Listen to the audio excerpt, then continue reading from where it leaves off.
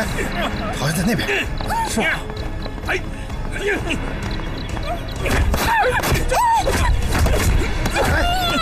你们干嘛呢？赶紧去！站住，别走，快走，别跑！别跑！哎，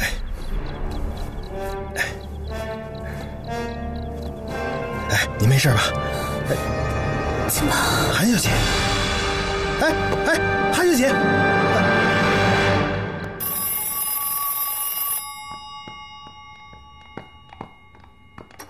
喂，是是是，哪家医院？好的好的，我们马上就到。巡捕房来电话，让我们去趟医院，也不知道那丫头是死是活啊。不死也得掉层皮，他们这些人下手可狠了。一会儿到了医院，你少说话，打死都不能承认。好好好，我不说话。进来吧。只有你说。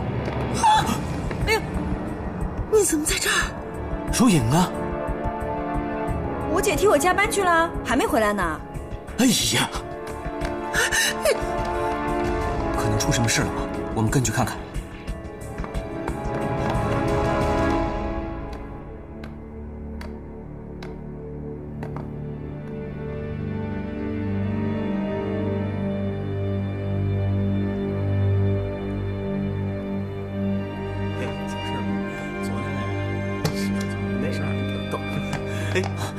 医生，你怎么样了？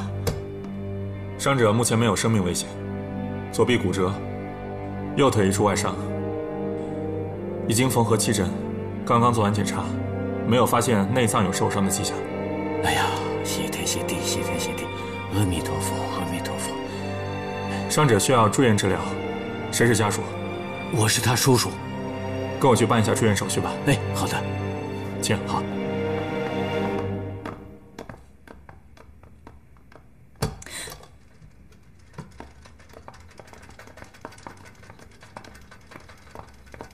文轩，你怎么来了？文轩哥送我回家，所以我们一块过来了。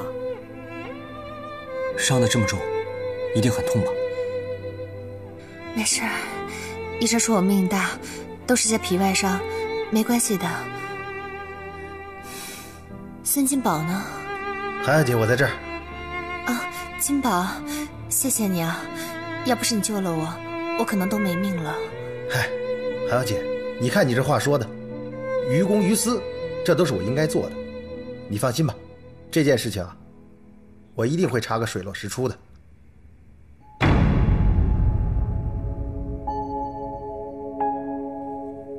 这么说，那些人是冲我来的呀？不抢财物，上来就打，像是寻仇。小雪，你最近有没有得罪什么人啊？同事之间的小摩擦肯定是有的。可也不至于下这么重的狠手吧？那外边呢？我是说黑帮的人，我都不认识，更谈不上得罪了。没人脸上会写着“黑帮”这两个字的，一定是你得罪了人，自己不知道而已。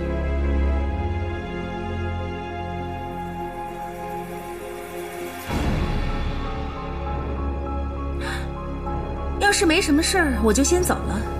我会让张妈给你炖骨头汤的。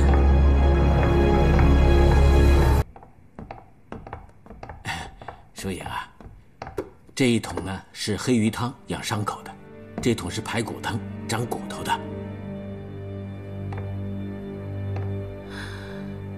孙巡捕来过了，说凶手是闸北帮的人。婶婶，如果我没有记错的话。跟您打牌的太太，其中有一个就是闸北帮的。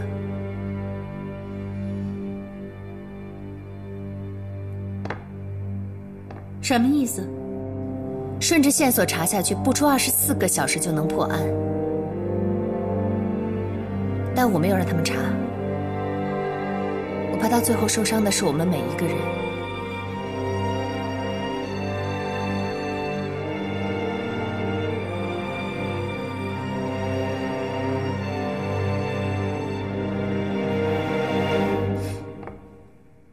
好吧，既然这里没有外人，那我就实话实说了。是我雇人打的，可是我们也没有想到，这棍子会落在你的头上。幸亏是落在我身上，否则这件事情可能这么轻易了结吗？我知道你们心中有怨恨，可这么下狠手，你没想过遭报应吗？报应就报应，最好来得快一点儿，总比我现在过着见头不见尾的日子要强。